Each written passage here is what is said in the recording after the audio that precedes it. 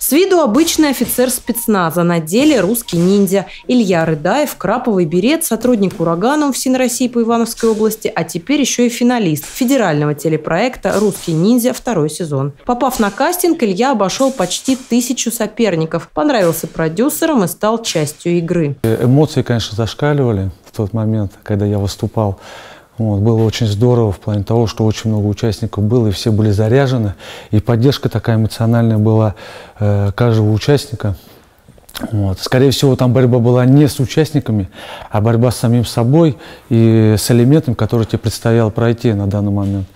И это было, конечно, восторг.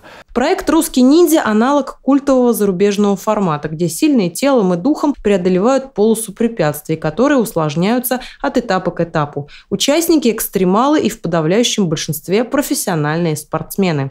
На старте город Иваново. Город не только невест, но и настоящих суровых мужчин. Краповые береты просто так не даются. Да, действительно, краповые береты, мне кажется, что может быть после этого нового на полосе препятствий русский ниндзя? Хотя нет, я уверен, что мы Илью удивим. И, может быть, Илья удивит нас, нашу полосу, и выйдет в финал русского ниндзя. Я думаю, что такие люди уж точно нам нужны. Такие Вау, кадры. Вот Хорош. Первый элемент группы где-то на координацию движения, где-то на скорость, где-то на цепкость.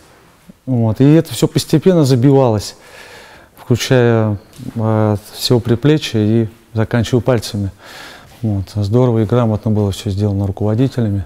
В «Урагане» Илья служит 11 лет, работу свою очень любит. Каждый день изнуряет себя тренировками. В выходные тоже не отдыхает, посвящает себя любимому хобби. Конечно же, спорту. Э, Я всю жизнь занимаюсь легкой атлетикой.